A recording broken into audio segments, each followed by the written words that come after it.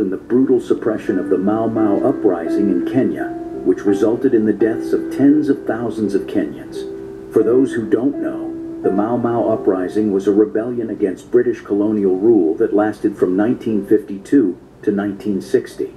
The Mau Mau fighters, primarily from the Kikuyu tribe, sought to reclaim their land, dignity, and freedom from the British settlers who had taken everything from them.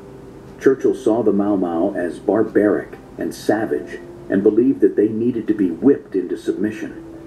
Churchill's government ordered the arrest and detention of thousands of Kenyans suspected of supporting the rebellion. These detainees were subjected to torture, rape, and murder by British soldiers and prison guards.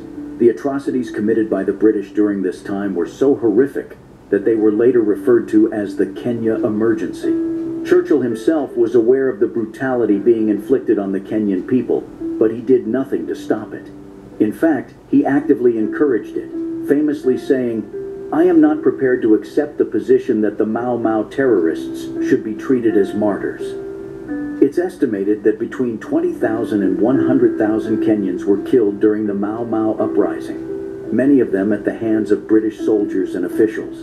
And yet, Churchill remained unrepentant, even years later, when evidence of the atrocities began to emerge. For years, we've been taught about Gandhi's peaceful resistance and nonviolent approach to fighting for Indian independence. But what we don't learn in schools is that Gandhi was openly racist towards black South Africans during his time in South Africa. In his writings and speeches, he referred to black people as savages and even advocated for their segregation from Indian communities. Winston Churchill, on the other hand, is widely remembered as the prime minister who led Britain through World War II.